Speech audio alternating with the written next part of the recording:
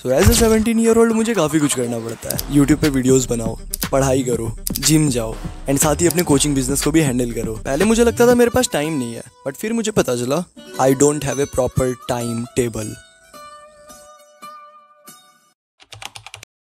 जितने भी successful businessman है एथलीट्स टॉपर्स सबके पास में एक डेडिकेटेड टाइम टेबल है। और if you want to be high achiever then तुम्हारे पास में भी होना चाहिए।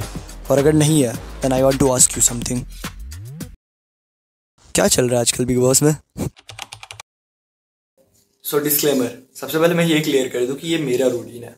मैं इसे कभी कभी चेंज भी करता हूँ, क्योंकि ज़रूरी नहीं है कि एक ही रूटीन में तुम्हें हमेशा रहना है। ये रूटीन से तुम बस आइडिया ले लो। हो सकता है ये तुम्हारे लिए सूटेबल ना हो, क्योंकि सबकी लाइफ अलग होती है बेसिकली तो चार से सात मैं यूट्यूब करता हूँ, यहाँ पे तुम देख सकते हो। तो यूट्यूब पे बेसिकली वीडियो बनाना एडिट करना स्क्रिप्ट करना रिसर्च करना, जो भी होता है वीडियो के लिए जो भी इन्फॉर्मेशन जमा, वो सब सब कुछ इस टाइम पे आ जाता है। काम को मैंने बेसिकली डिवाइड करके रखा हुआ है।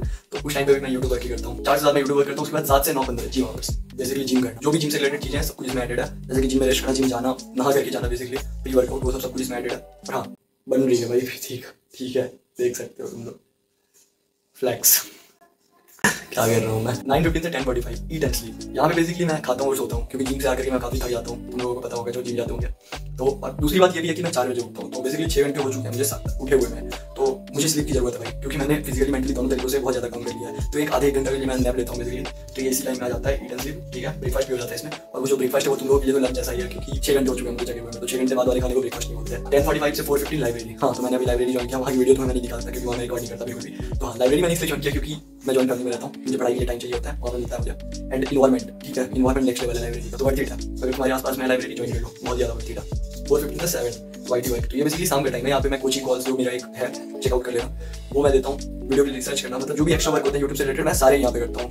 एंड सेवन स्लीप इसके बाद बेसिकली मैं खाता हूँ और सो जाता हूँ। मतलब ये मैंने लिख दिया है, बस बेसिकली सोते सोते मुझे डेली आठ, साढ़े आठ तो बज जाते हैं, क्योंकि बहुत ज़्यादा ये वर्क लेंदी हो जाता है। कभी कभी जैसे मुझे लाइब्रेरी से आने में पाँच बज जाता है तो थोड़ा लेट होता है। और मैं भी यही बोलूँगा कि अगर रूटीन है तो थोड़ा लेट होना बनता है, क्योंकि रूटीन एकदम ही तुम रोबोट जैसा नहीं बना सकते। थोड़ा बहुत आगे पीछे होना जेनुइन है। ठीक है? तो ये था एक मेरा रूटीन इसी से तुम एक आइडिया ले सकते हो। चलो।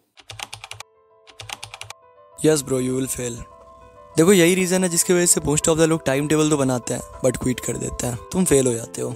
एंड इसी वजह से तुम टाइम टेबल को भी क्विट कर देते हो डिमोटिवेट होके। मेरे साथ एग्जैक्टली exactly ये सेम होता था। मैंने बचपन से पचास से भी ज़्यादा टाइम टेबल बनाया और उसको फाड़ दिए।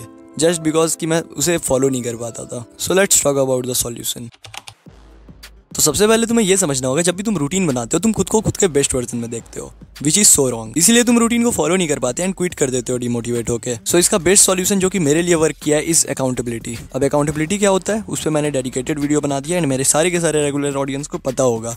बट फिर भी मैं थोड़ा सा समझा देता हूँ। अभी के लिए बस इतना समझो कि जब भी तुम रूटीन में फेल हो गए तुम्हें रीजन ढूंढना होगा कि तुम फेल क्यों हुए इस पॉइंट पे। फॉर एग्ज़ाम्पल तुम्हें सुबह पाँच बजे उठना था। तुम नहीं उठ पाए। क्यों नहीं उठ पाए? क्या रीज़न है? ये तुम्हें फाइंड आउट करना होगा। अगर तुम नहीं कर पाओगे तो तुम ऐसे ही फेल होते रहोगे। एंड फाइंड आउट करके तुम्हें उसका सॉल्यूशन जल्दी से जल्दी ढूंढना होगा। देखो रूटीन बनाने के बाद तुम फेल तो ज़रूर से होने वाले हो because it is so normal but fail होने के बाद उसको क्विट कर देना। ये नॉर्मल नहीं है। इस पर तुम्हें एक्शन लेना है। और अगर तुम चाहते हो कि मैं कॉल पे आके तुम्हारे लिए एक टाइम टेबल बना दो, तुम्हारे टाइम टेबल को रिव्यू कर दूँ तो तुम डिस्क्रिप्शन पर जा सकते हो। मैंने एक नया क्विक कॉल लॉन्च किया है, जो कि बहुत ज़्यादा सस्ता है, बहुत ज़्यादा सस्ता है। ये बेसिकली मैंने तुम लोगों के हेल्प के लिए किया है, क्योंकि देखो, दो तीन सौ लोगों की मैं एक साथ कॉल नहीं ले सकता बट जो भी इसके लिए थोड़ा सा पे कर रहे हैं, मैं उनके लिए हेल्प करूँगा पर्सनली ठीक है? बाकी फ्री ऑडियंस के लिए मैं वीडियो तो बनाता ही रहूँगा। So yeah that's it for this video bye bye work करो जाके।